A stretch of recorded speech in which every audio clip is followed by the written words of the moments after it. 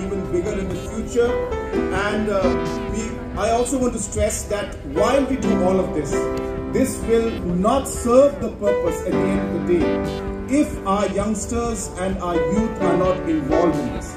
So I would like to see that more and more of our youth uh, are uh, becoming part of this program. In the long run, I would like to see our youth participate in the Cherry Blossom Festival uh, in different ways, whether it's as musicians or even in terms of having their stalls. Uh, these are being done to really promote all of you.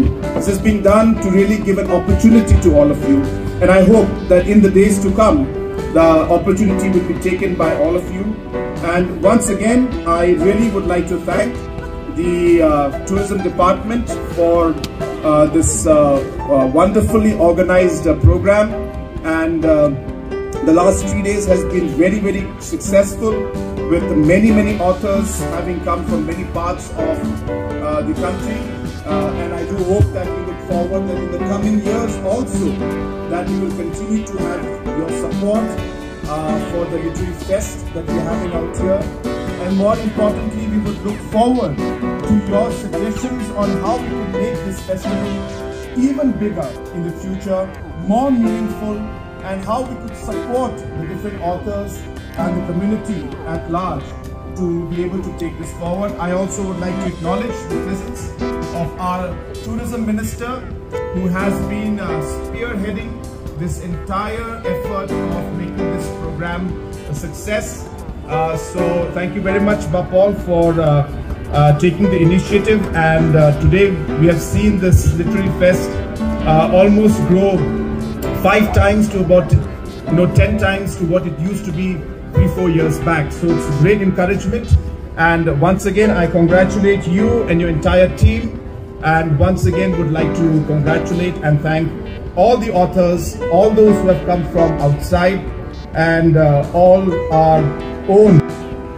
At most events you see me speak, at certain occasions you see me uh, playing the guitar, but today I offer a new avatar of me, uh, which is part of the effort to lead by example and showing the way to the rest of the country.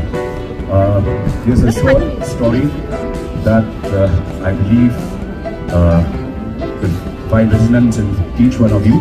It's called The Reunion. He is familiar with the phrase, butterfly in one's stomach.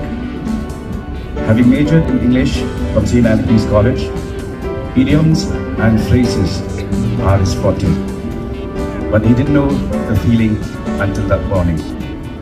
He felt an unease he could not describe, a sudden rush of conflicting emotions, a quickening of the heartbeat. A few months older. I need her to know, bro. You have to play your game adroitly. Never felt this way ever. Rushed.